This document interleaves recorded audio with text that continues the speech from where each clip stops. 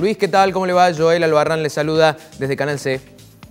¿Qué tal, eh, Joel? Eh, buen día, ¿cómo estás vos? Muy bien. Bueno, a ver, ¿nos puede ilustrar un poco cómo está la situación en Argentina de la construcción? Bueno, la, construcción en Argentina está muy complicada. Este, se han perdido, eh, como es de público conocimiento, más de 100.000 puestos de trabajo desde el año, desde abril del 19 a la fecha, y particularmente en Córdoba, donde hemos tenido una obra pública realmente muy importante, un estudio de obra pública muy importante, de 36.000 este, operarios que había en abril del 2018, que fue eh, el punto más alto, eh, hoy tenemos a la fecha, el número de febrero, 21.000 este, trabajadores. Realmente la pérdida de empleo ha sido este, muy significativa. Claro, claro, totalmente. ¿Cuáles son las posibilidades de recuperar primero en la habilitación, no le digo total, pero al menos una habilitación parcial en este contexto de pandemia, pero también atendiendo el contexto económico que es complicado? Bueno, nosotros tenemos hoy, eh, estamos bregando por la liberación o, que se exceptúe la obra privada, que en definitiva, eh, ante la baja importante de la obra pública, significaría o significa prácticamente entre un 70 y un 80% de la actividad del sector. En función de eso hemos tenido conversaciones con el COE a través del Ministerio de Industria y Fernando, del secretario Fernando Civila, que es eh, la persona eh, que tenemos como interlocutora. Y eh, a partir de este lunes hemos realmente hemos logrado avances importantes en función de que se le han acercado al COE toda la documentación que ellos requerían para comenzar a habilitar la obra privada.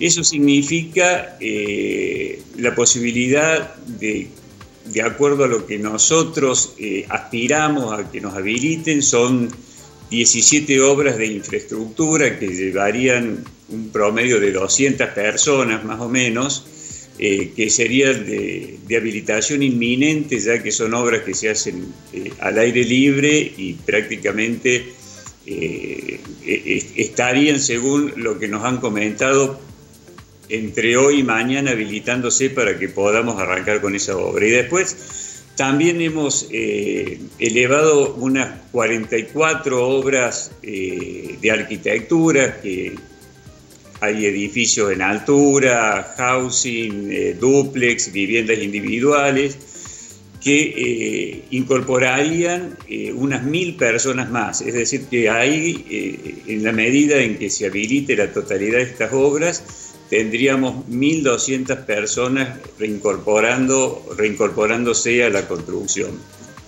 Por supuesto que esto es un número importante, no se va a dar en forma simultánea, sino que se va a dar en forma paulatina y programada este, de acuerdo al criterio que establezca el COE.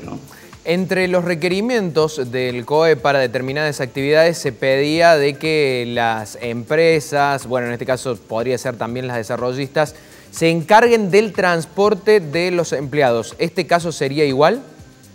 Sí, sí, sí, exactamente igual. Nosotros sabiendo de, de la condicionante que era este, el no uso del transporte público de pasajeros para la habilitación de esta obra, le solicitamos a la UOCRA que hiciera una encuesta, una encuesta entre sus dependientes para saber la magnitud de, las personas que se manejaban en transporte público. Y la verdad que eh, nos ha hecho llegar el resultado, la UOCRA, de ese relevamiento y solamente el 10% de, sus afiliados se maneja en transporte público. Esto reduciría sensiblemente, sensiblemente eh, lo, que nosotros tendríamos que solucionar, es decir, de 1.200 dependientes que pondríamos eh, a trabajar, tendríamos que solucionarle eh, el problema de movilidad a 120 personas, lo que es significativamente menor, y bueno, eso se hará a través de, transporte privado o,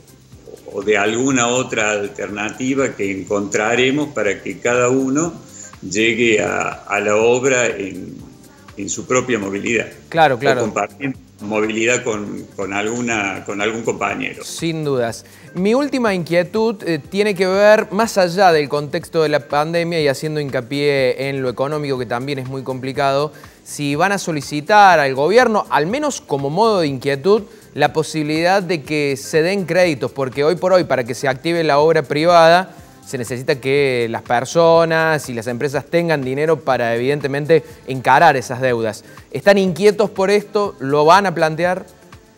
Sí, sí, estamos muy inquietos porque realmente muchos de los emprendimientos que se están haciendo depende de la inversión privada, que hoy hay muchos sectores donde la pandemia ha pegado fuerte y que no pueden afrontar los gastos de eh, tener una obra en marcha. Estamos eh, buscando herramientas para plantearle al sector público como diferimiento de impuestos, este, alguna otra alternativa que se utiliza en otros países eh, para poder eh, e-, encarar casi en forma independiente del momento económico por el que estamos pasando este, todos estos emprendimientos que te comentaba, porque tiene una relación directa con con lograr empleo, que es uno de los este, flagelos sociales que hoy, está, eh, que hoy nos está pegando, ¿no es cierto? Necesitamos garantizarnos que poder seguir construyendo y dando trabajo.